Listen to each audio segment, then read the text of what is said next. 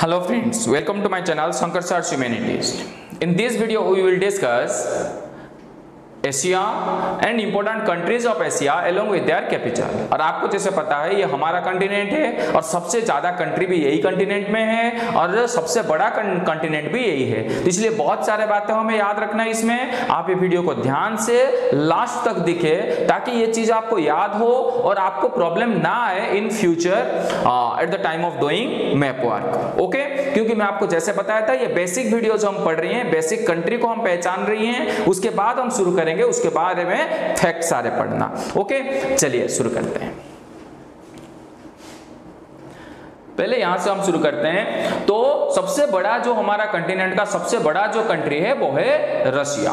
ठीक है, इसको यूरेशिया भी बोला जाता है, क्योंकि यहाँ तक ये आता है, एशिया में इस साइड और इस साइड जाता है उसका यूरोप में। इसलिए इसको हम बोलते हैं यूरेशिया। ओके, ये है रशिया। रशिया का कैपिटल है यहाँ मॉस्को क्या है रशिया का कैपिटल मॉस्को बस इतना आप याद रखें। उसके बाद नीचे चलें। अब और क्या याद रखना है? रशिया के नीचे होता है मंगोलिया, ये जो कंट्री ये है आपका मंगोलिया, लेकिन ये ज़रूरत नहीं है आपको याद रखना पेपर में, इसके बारे में कोई भी क्वेश्चन नहीं आएगा। उसके नीचे ये चाइना, ये आप देखिए, ये याद रखिए चाइना को। चाइना का कैपिटल है बीजिंग, ठीक है? चाइना का कैपिटल है बीजिंग, ये है आपका बीजिंग ओके आगे चलते हैं फिर। उसके बाद आप यहाँ याद रखिए जापान को। जापान का कैपिटल है टोक्यो।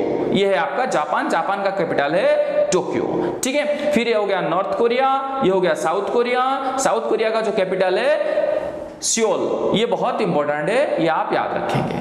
उसके बाद और नीचे चलते हैं। यहाँ है, ये है आपका फिलीपींस। फिलीपींस का कैपिटल का नाम है मानिला। आता है पेपर में मानिला में जो पोर्ट भी है एयरपोर्ट भी है पेपर में आते हैं, यह फिलीपींस इसके साइड में है ये मानिला ओके उसके नीचे आए आप, ये है मालेशिया मालेशिया कैपिटल है कुआलालंपुर ठीक है? ये आता है पेपर में मालेशिया कैपिटल क्या है?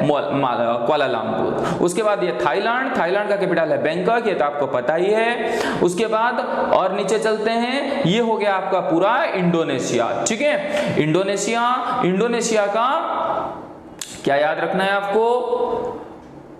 सिर्फ़ इंडोनेशिया में ज़्यादा कुछ क्वेश्चन आता नहीं। ये हो गया इंडोनेशिया, आपको याद रखना है इसको। ठीक है? और उसका कैपिटल हो गया आपका जाकर्ता। ठीक है? उसके बाद पपुआ न्यूगिनिया ये है आपका ये है पपुआ न्यूगिनिया। इसको याद रखना है। बस इतना याद करेंगे इस साइड से और ज़्यादा आप अंदर नहीं जाएँगे। आगे चलते हैं।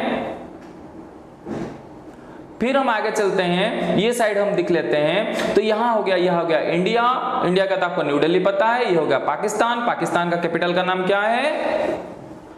कराची। नहीं नहीं, झूठ बोल रहे हैं आप। कराची नहीं है उसका कैपिटल इसका कैपिटल का नाम है बता तो दो। ओके इस्लामाबाद ओके तो उसका कैपिटल है इस्लामाबाद, ये ऊपर है ये ये है इस्लामाबाद। समझ में आया? कराची नीचे होता है, कराची इंपोर्टेंट पोर्ट है उसका। उसके बाद अफ़गानिस्तान अफ़गानिस्तान का कैपिटल है काबुल, ये याद रखना है आपको। इसके बाद है ये ईरान, उसके साइड में ईरान का कैपिटल है तेहरान, ठीक है? उसके बाद और याद रखना है यहाँ, ओमान, ये साइड में है ओमान, ज़रूरत नहीं, कैपिटल याद रखना, ठीक है? उसके बाद ये है सऊदी अरबिया। ये दिख रहा है आपको? ये सऊदी अरबिया, ठीक है? इसका कैपिटल है रिहाद, आपको ये याद रखना है सऊदी अरबिया को, ओके? उसके बाद ये है इराक। इराक में क्या है? बागदाद। इराक का कैपिटल है बागदाद, ये याद रखना। फिर ये टर्की। टर्की का कैपिटल है आपका अंकोरा, या Ankara, N K R Ankara. ये आपको याद रखना है। बस, इतना हो गया। इसमें याद रखना है आपको। और ज़्यादा कुछ ज़रूरत नहीं है। आप इतना याद रख लिए तो आपको प्रॉब्लम नहीं होगा मैप करने के लिए। ठीक है? हाँ और एक चीज़ यहाँ मैं छोड़ दिया, जो है आपका बांग्लादेश। बांग्लादेश का कैपिटल है ढाका। ठीक है? तो बांग्लादेश का कैपिटल ढाका आप याद रखेंगे। बस इतना आप याद रखेंगे तो इंडिया के बारे में या एशिया के बारे में आपको प्रॉब्लम्स नहीं होगा।